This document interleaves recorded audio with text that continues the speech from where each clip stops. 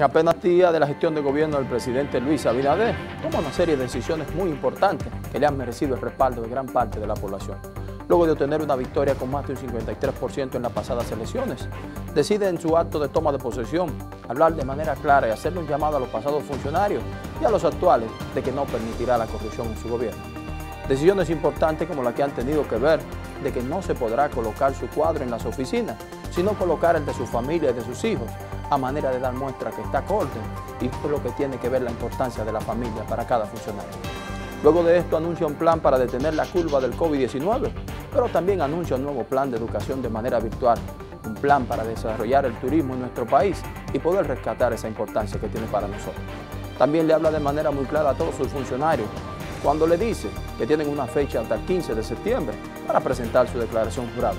De no temperar este llamado serán suspendidos en sus funciones y de no hacerlo en tres semanas serán separadas de esta. Esto ha tenido también que ver con decisiones importantes, como lo que ha significado el anuncio que hace que desarrollará el sur desde Pedernales, siendo esto un polo turístico, importante fuente de empleo para este pueblo. Este también anuncio va de la mano con 5 mil millones que anuncia el Banco de Reserva como programa de crédito para las micros y pequeñas empresas y aquellas personas, familias que han sido afectadas por el COVID-19.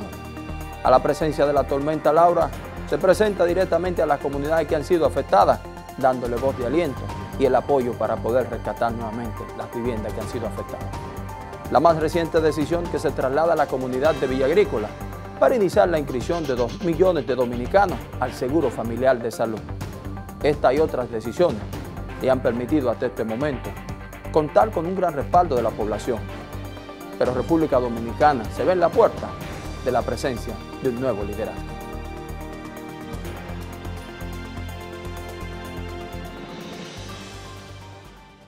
Luis Rodolfo Abinader Corona nació el 12 de julio de 1967 en Santo Domingo.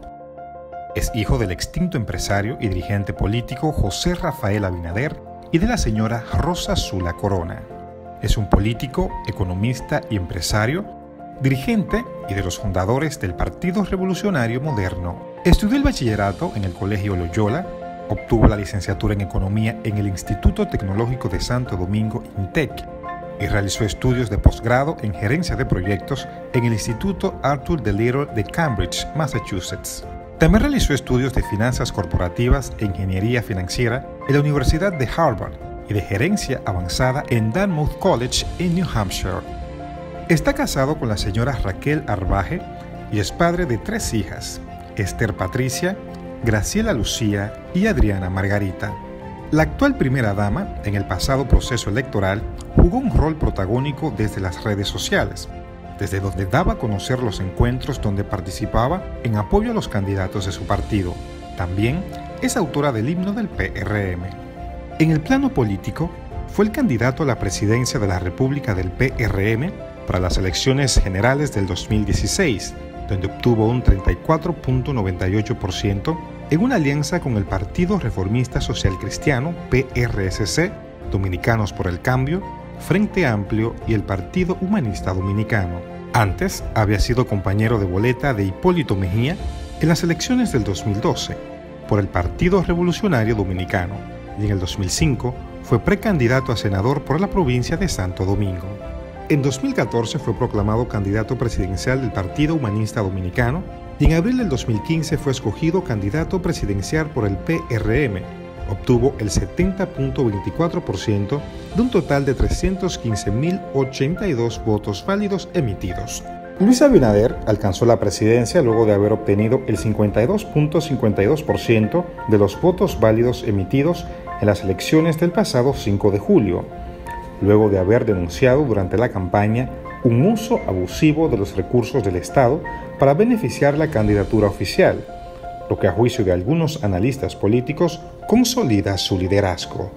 Luis Abinader es definido por sus más cercanos colaboradores como un hombre profundamente apegado a los valores patrióticos y familiares, y que ha incursionado en la política motivado por el compromiso de hacer un mejor país.